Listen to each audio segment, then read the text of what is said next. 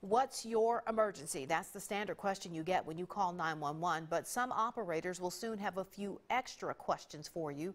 In a meeting today, emergency management leaders in Lowndes County announced a new protocol for first responders during an emergency.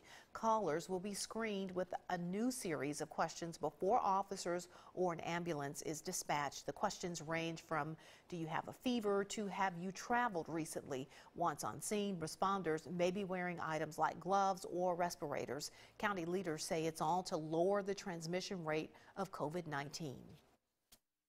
we are all one. There is no turf, no wars, no turf wars, no territory. It's everything within our borders. So if city has to work in county, city can work in county, or they'll work wherever they're needed. be patient. We'll work through this as a city, as a nation. Uh, this is something that is new to all of us, but it's very, very, uh, very dangerous on some people. But in, in other words, if we do what we need to do and take the necessary precautions that are handed down from the CDC, we should be fine. Those new protocols will go into effect immediately.